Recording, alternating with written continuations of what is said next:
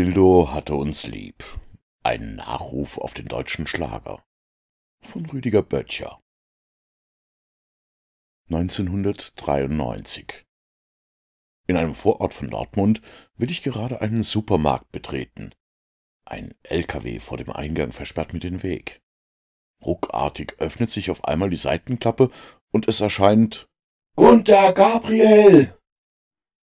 Zusammen mit einer Country-Gruppe, den Playboys, wirbt er für einen bundesdeutschen Bohnensuppenhersteller.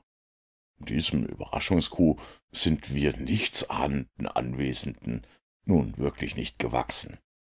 Schluchzend fallen wir uns in die Arme, und stolz bekennt daraufhin Erzschurke Gabriel, leicht angeheitert, aufgrund der überwältigenden Stimmung natürlich, er sei niemals in all den Jahren getingelt.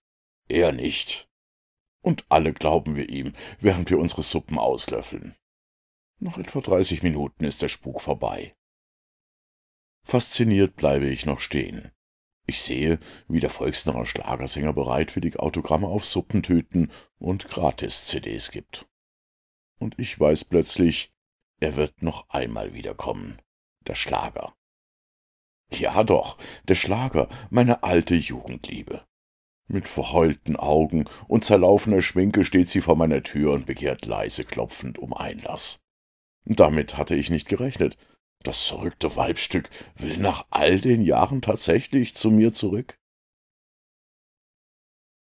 1998 Birmingham! Dieser Ausruf brachte die Volksseele zum Überkochen.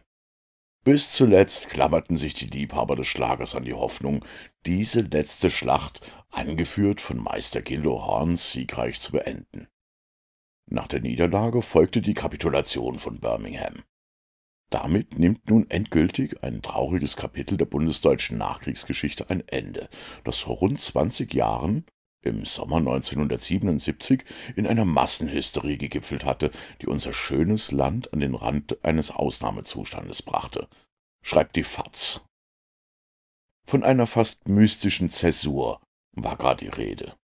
Auch heute noch werden die Toten der damaligen Schlagerszene von deren Sympathisanten heroisch verklärt.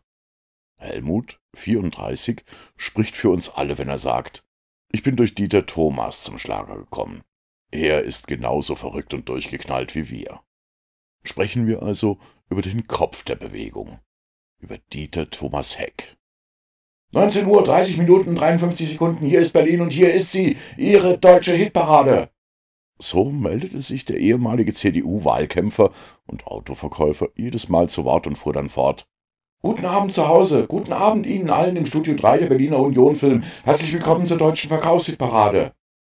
Damit waren etwa 15 bis 20 Millionen Sympathisanten, also Käufer, vor den Fernsehschirmen und 500 ausgewählte Gäste im Studio angesprochen. Ein kollektiver Rausch, regelmäßig auf die Spitze getrieben durch Hecks legendären Satz. Klaus, wir können abfahren! Und nun hatte ein Schlagerstar genau drei Minuten Zeit, um vom Publikum geliebt zu werden. So wie Howie, der während er seine zumeist traurigen Lieder sang, immer lächelte. Dafür liebten ihn dann alle. Er war es übrigens auch, der mit Hello Again 1981 den letzten bleibenden Schlager brachte. Nach exakt drei Minuten kam jeweils das abrupte Ende. Klaus stoppte das Band, während der Sänger, hilflos mit den Armen rudernd, noch seinen Satz zu beenden versuchte. Doch da kannte Dieter Thomas Heck keine Gnade, denn es ging ihm nicht um ein Lied, sondern um den Menschen ging es ihm, wie allen Ideologen. Ein paar vertrauliche Insider-Informationen folgten noch, manchmal Blumenberge, danke, der Applaus schwoll an und ab. Dafür gab's obendrein 2500 D-Mark Honorar. Nach besagtem Hello Again folgten nur noch verzweifelte Versuche, das eigene Scheitern zu vertuschen. Heck hörte auf, als die neue deutsche Welle sein Lebenswerk ins Lächerliche zog. Fast zehn Jahre Stille, und dann kam Gildo, der Musiktherapeut aus Trier, um die Sache standesgemäß zu Ende zu bringen. Von Anfang an hatte sich die Schlagerbewegung maßlos überschätzt, schreibt die Taz.